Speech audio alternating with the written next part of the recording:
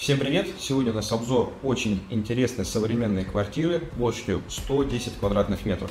Из прихожей открывается перспектива кухни-гостиной, которую замыкает окно в темной раме. Слева мебельная конструкция, декорированная натуральным шпоном. Перед нами вальяжный модульный диван с кушеткой, пуфом и множеством уютных подушек. Зона кухни П-образной конфигурации. Нижние модели декорированы тем же шпоном, что и мебельная конструкция.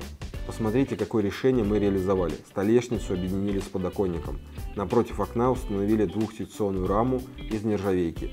Здесь у нас вентиляционные отверстия, которые обеспечивают воздухообмен.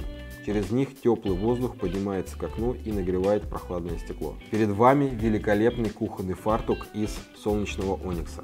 Со стороны гостиной в нижний ярус кухонного гарнитура внедрили винный шкаф. За фартуком смонтирована скрытая подсветка.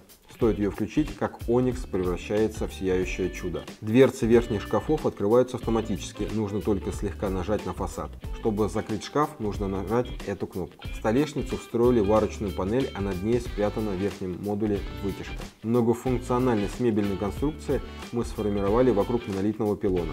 Со стороны гостиной в ней создана система хранения в виде витрины. На ее полках можно расставить красивую посуду, семейные реликвии, арт-объекты. Подвесная тумба в телевизионной зоне декорирована тем же шпоном, что и мебельная конструкция, а каменная облицовка стены перекликается с дизайном диванной группы. Верхний ярус телевизионной зоны и открытые стеллажи у окна – это отражение кухонного гарнитура. Часть мебельной конструкции относится к зоне кухни. С этой стороны в нее встроили огромный холодильник и тандем микроволновки и духовки. И еще осталось место под систему хранения. Движемся дальше. Слева скрытая дверь в санузел, объединяющий туалет, душевую и постирочную. Далее у нас лаконичная прихожая. Обходим мебельную конструкцию. Прямо перед нами скрытые двери в детские комнаты и далее ход в мастер-спальню. С этой стороны в мебельную конструкцию сделаны шкафы для разнообразной одежды и текстиля. На потолке трековые системы освещения, изготовленные под заказ. Металлические шины, интегрированные линейные светодиодные светильники. Перемещаемся в прихожую. Здесь очень интересная тумба с консольной секцией. На стене огромное зеркало, дизайнерская система освещения буквой Г. Слева вместительная гардеробная площадью около 5 квадратных метров. Перегородки из гипсокартона обшили шпанированными панелями. Раздвижные двери перемещаются по верхней направляющей. Удобное и практичное решение. В гардеробной можно хранить верхнюю одежду. Дополнительно предусмотрены полки для головных уборов, сумок и чемоданов. Здесь же находится встроенный электрический щит и коллекторный шкаф системы отопления. Перелетаем в ванную комнату. В зоне раковины большое зеркало шириной во всю стену. В нем отражается оригинальный декор акцентной стены. Стена рядом облицована крупноформатным керамогранитом с фактурой темного дерева. Гипсокартонный потолок вмонтирована светодиодная лента.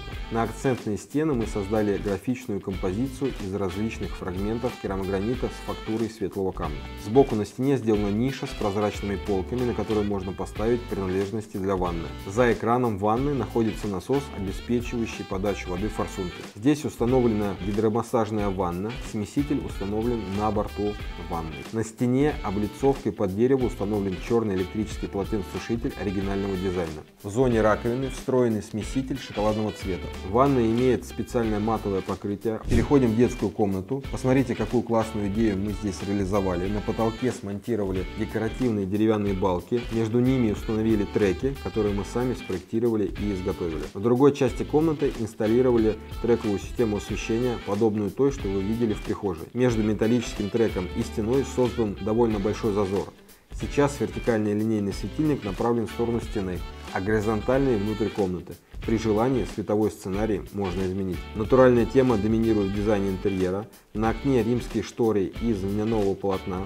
Слева настенная система хранения с деревянным фасадом. Словом, много деталей под дерево. Речные потолки перекликаются со столешницей рабочего стола, которая объединена с подоконником и консольной полкой, перетекающей в тумбу телевизионной зоны. Стена декорирована шпанированными панелями. В телевизионной зоне по обрезу панели проложили световую ленту толщиной 6 см. На нейтральном идеальном фоне отлично смотрятся контрастные акценты. Черный компьютерный стол, розеточные группы, пуфы под полкой и звездное покрывало на кровати. Обратите внимание, слева система хранения доходит до речного потолка. Направляемся в мастер-спальню. В нишу справа установили зеркало высотой от пола до потолка. Рядом темно-синий шкаф. У стены напротив окна большая двухспальная кровать с мягким изголовьем. Подоконник объединили с тумбой, которая простирается на всю длину стены. По сторонам кровати круглые прикроватные тумбы, над ними подвесные светильники, в центре потолка люстры в виде белого кольца. К спальне присоединили лоджию. Для этого мы установили оконную конструкцию на базе максимально эффективного